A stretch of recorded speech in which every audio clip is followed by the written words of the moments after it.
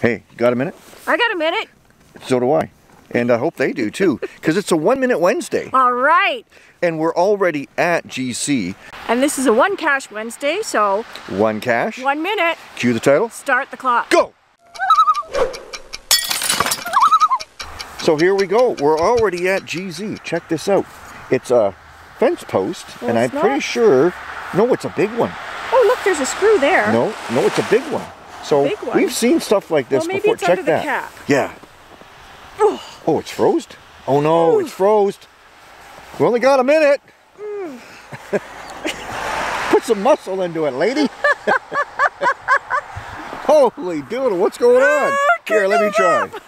Oh, there we go. I hate when that happens.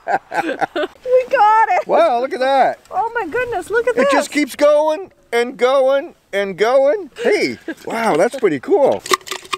Where's the log sheet? I think it's right here. Look at this. The log is the stick. That's pretty cool. I like it. Oh, look. There's lots of room on this log for more So, people to come and Yeah, sign. come on out and get it.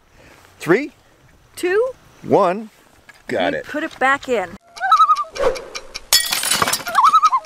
Well, that was a really cool one. That eh? was amazing. That was so much fun. And the sound it makes when it comes out is pretty cool.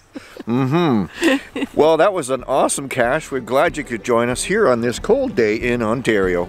Keep watching. There's more caches to be found. Where will geocaching Take you.